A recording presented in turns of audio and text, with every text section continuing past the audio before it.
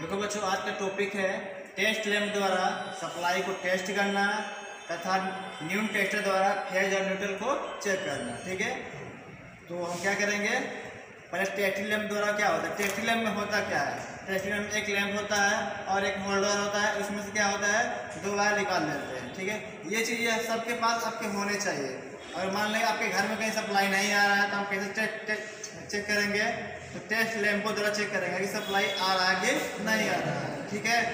और आपके पास एक न्यू टेस्टर भी होना चाहिए ठीक है? कभी कभी क्या होता है कि दोनों फ़ेज़ में आपके शो करता है। उस समय आपका ये समझना चाहिए कि एक वायर आपका टूटा है कहीं ठीक है? एक वायर क्या है आपका ओपन हो गया है। इसीलिए दोनों में आता है ठीक है?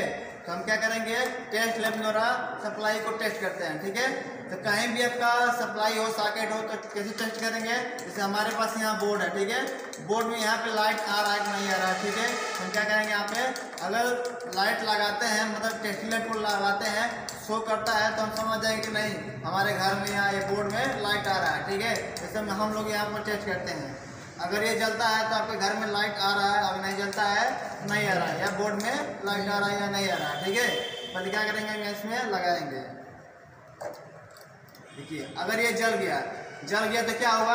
आपका घर में लाइट आ रहा है। अब हम स्विच को ऑफ़ कर देते हैं, अगर ये नहीं जलता है, ठीक है? मान लें घर में सप्लाई कहीं से बाहर दिक्कत हो गया है, अगर नहीं जलता है तो क्या करेंगे हम? लगाने पे नहीं जलता है तो आपके घर में लाइट नहीं आ रहा है। क्या करें हम? आगे इसको टेस्ट करेंगे, ठीक है? अगर बात करें फ़ेज़ और न्यूट्रल की कैसे पता करेंगे किसमें नेट न्यूट्रल है और किसमें फ़ेज़ है ठीक है? अगर देखिए ये आपका क्या है? न्यून टेस्टर है। अगर न्यून टेस्टर में लाइट जलती है ठीक है? लाइट जलती है तो इसमें क्या समझेंगे हम? फ़ेज़ वायर है। अगर नहीं जलता है तो न्यूट्रल वायर क्योंकि जो न्यूट्रल का करंट क्या होता है? ज़ीरो होता है। न्यूट्रल करंट क्या होता है? ज़ीरो होता है ज़ीरो होता है तो उसमें शो नहीं करना चाहिए ना।